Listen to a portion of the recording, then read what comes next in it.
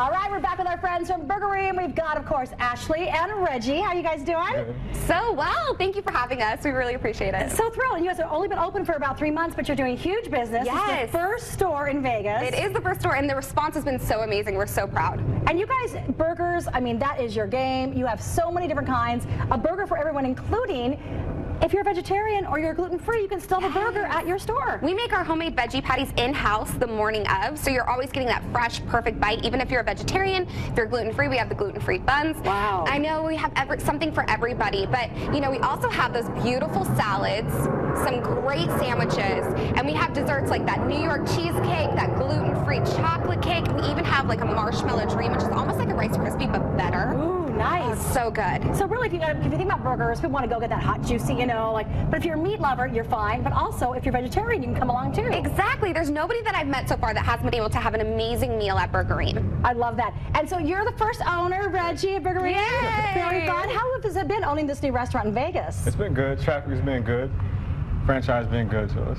And tell everybody where you're located so they know how to Uh, find you. Silverado Ranch in Bermuda at 9635 Bermuda. Of all the burgers on your menu, I like a burger. If I was going to go and pick the meatiest, juiciest, cheesiest, which one is your favorite? My favorite is the lamb. the lamb burger. Ooh. A lot of people like the merguez, but it's a little seasony for me. And what, what kind of sauce do you put on the lamb burger? On the lamb burgers, we have a house sauce that Burger created. Mm, nice. It sounds good. Like, like your little Greek yogurt action, something like that. And then also, not only, you know, Reggie's the first one, but there are opportunities for other people. If they go and try the burger and they're like, this is so good, I want to own a business myself. Yeah, you know, when you poll the American people, most people want to own a restaurant. That's one of the top five things they want to do. And Burgerim gives you that opportunity. We have a very low franchise fee. We teach you about loans, the build out, we train your staff, and then I come in and market for you. So we're all franchise based. So if you want to know more information, head to www.burgerim.com. I love that. So top five things people want to do in America. One is own a restaurant. Own a restaurant. And then number two was date Chris Hemsworth, and that's not possible because he's married. But this is. See? Oh, See, this is if you could date Chris Hemsworth at Burgerim, it's a perfect combination.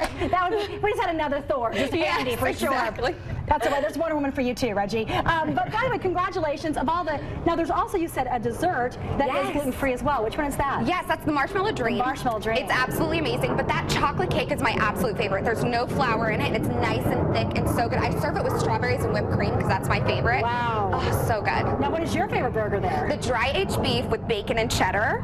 I'm an all all beef girl. Like, don't judge, but like I get a lot of bacon and cheddar on that, and I get like that. a full bite burger. It's my favorite. Okay, I love the cheese. To me, makes the burger. So you have what kind of, what kind of cheeses do you have? Cheddar. We have cheddar, American, pepper jack, and Swiss.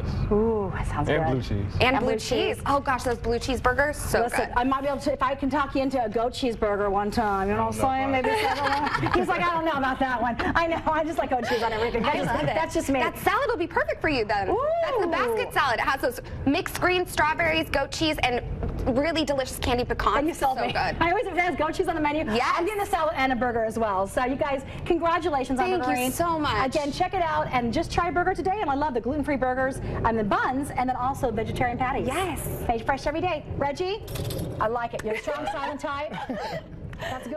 You know, I mean, we talk a lot around here, so it's nice.